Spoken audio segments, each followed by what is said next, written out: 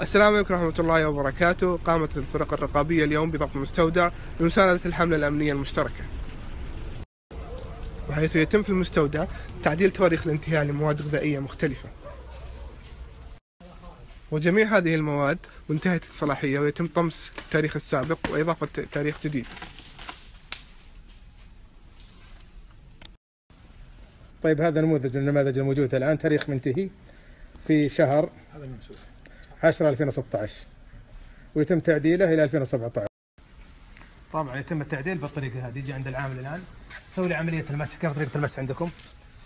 الآن مادة تنران مسح التاريخ نهائي. الآن بننتقل للمرحلة الأخيرة وهي مرحلة طباعة التاريخ الجديد.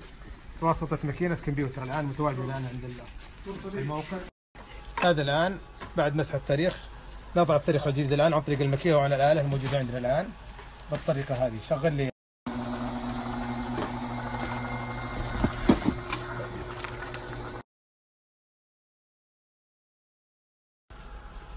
هذه الماكينة الكمبيوتر يتم تعديل التواريخ من هنا حسب الوقت وحسب التاريخ وحسب نوع المنتج.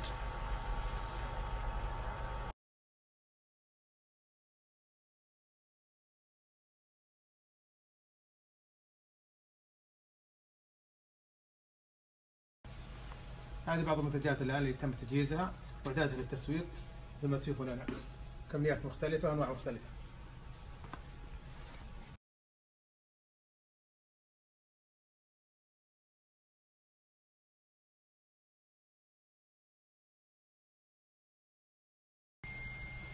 طبعا يتم ضبطها هنا مواد غذائية مختلفة. حليب سائل حليب بودرة آه، حلويات أطفال آه، عندك آه، فول حمص.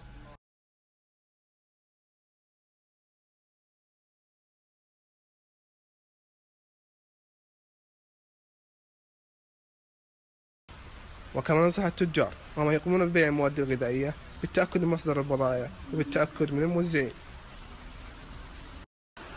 وفي الختام نشكر الفرق الرقابية والحملة الأمنية المشتركة بمنطقة الرياض على جهودهم التي قدموها.